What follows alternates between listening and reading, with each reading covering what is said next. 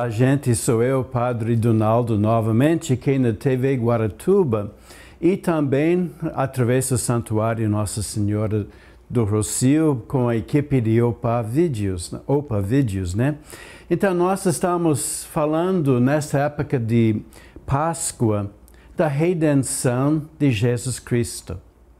Eu fiquei preocupado nesses dias que eu vi no Facebook um padre da Igreja Católica falando que temos que falar mais do pecado, do diabo e de tentação e fraqueza. E eu fiquei preocupado por quê?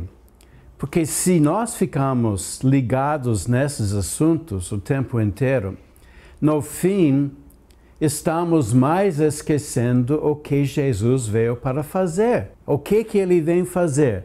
Nos dar a força para superar a fraqueza, para vencer a morte e vencer o pecado. E quando nós ficamos só falando do pecado, o que, que acontece? A gente começa a ficar paralisado. Vamos usar um exemplo. No terceiro ano do seminário menor, eu tinha aula de latim com Cícero. Cícero é muito complicado, né? E nas primeiras provas eu tirei dois. E daí me convenci que eu não podia conseguir fazer isto. E desde que eu me convenci, eu reprovei. Mas é porque eu não acreditava que eu podia vencer. Se nós ficamos falando demais sobre pecado e fraqueza, o diabo, né, e o mal, acabamos chegando ao ponto de pensar: eu não vou ter condições de superar, de vencer, de ser mais. Mas é porque eu não confio em mim. Isso que é o que é nosso problema e é isso que Jesus veio para resolver para nós. Vamos voltar ao livro do Gênesis, capítulo 2. Deus fez a imagem do homem da pó da terra. Criou essa imagem, soprou nos narinhas e a imagem pegou vida. Aí se tornou a humanidade. Mas essa humanidade começou no barro, começou na fraqueza, começou com limitações começou não podendo fazer tudo que deveria fazer. E isso é o sentido do capítulo 3 do livro do Gênesis.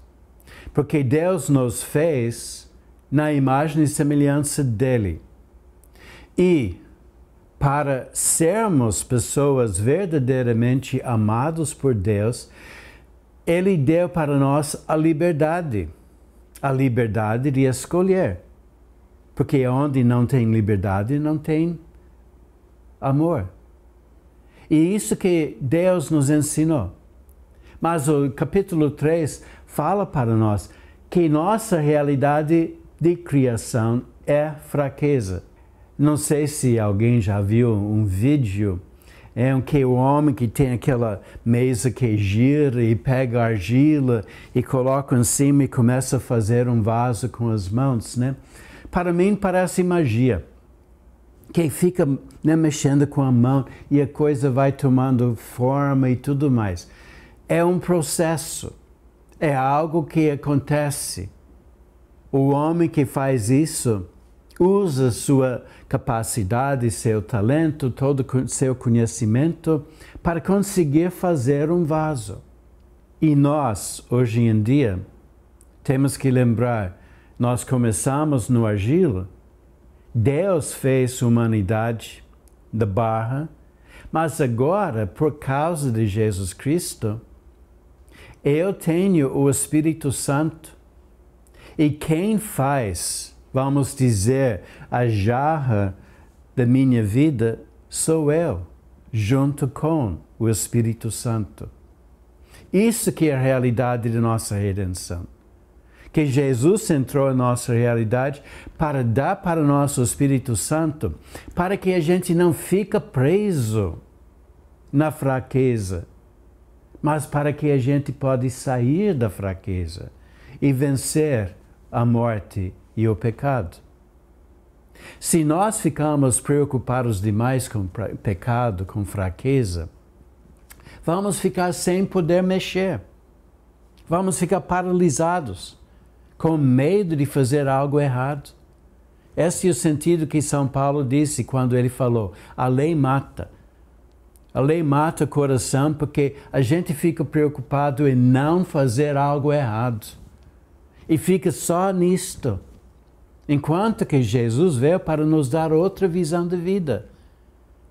E a visão da vida é com o Espírito Santo, junto conosco, como Jesus fez na sua vida como pessoa humana, com o Espírito Santo presente, era muito mais a questão de perguntar ou falar: eu não quero ficar preso na lei, eu quero ver para onde que posso ir. O que que posso fazer? Isto que ênfase que Jesus Cristo nos dá.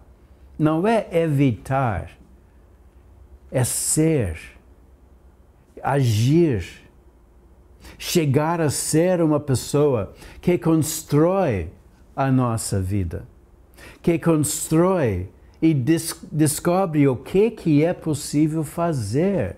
E não ficar só na limitar a nossa vida a evitar fazer pecado.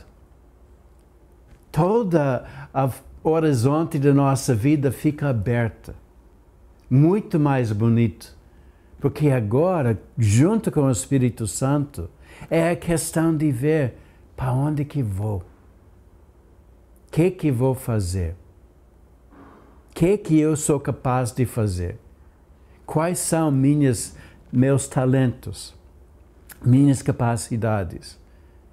E quando a gente olha mais para o lado positivo, que Jesus nos ensinou, aí a nossa vida fica completa. A gente vive na plenitude.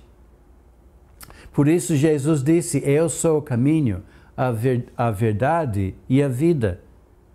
Se nós seguimos os passos de Jesus, vamos encontrar nossa vida verdadeira. A vida que não tem mais limites, a vida que tem oportunidades, a vida que tem possibilidades, a vida que está aberta, a vida que nos oferece né, um horizonte lindo, que é de agir. Por isso, nós não podemos ficar tanto falando do pecado, do diabo e fraqueza. Jesus nos deu a vitória.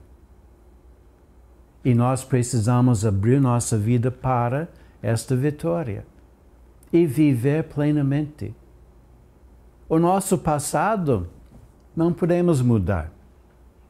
Mas se a gente acredita no Espírito Santo que nós recebemos no batismo, a nossa vida se torna não uma preocupação com o que eu fiz no passado de errado, mas o que que posso fazer no futuro de bem? Para onde que posso caminhar? Para onde que posso chegar? Isto que é a beleza do que Jesus fez para nós. E quando ficamos pensando só em fraqueza, ficamos presos. Mas quando nós abrimos nosso coração para a presença do Espírito Santo, quando nós deixamos o Espírito Santo entrar em nossas vidas, as possibilidades são muito maiores, são grandes. Em nossa vida na família, por exemplo, a gente pode pensar e se esforçar em ajudar um ao outro a crescer e ser melhor, em vez de ficar criticando, condenando, chamando atenção por coisa pequena. Podemos reconhecer a pessoa do outro e podemos ajudar esta pessoa a se tornar uma pessoa melhor e mais completa. Isto que é nossa oportunidade, isto que é nossa vida.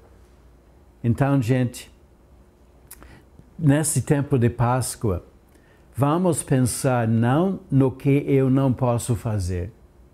Vamos pensar nas possibilidades de vida plena, completa que Jesus oferece para cada um de nós. Obrigado por sua atenção, gente. Até a próxima vez. Goodbye.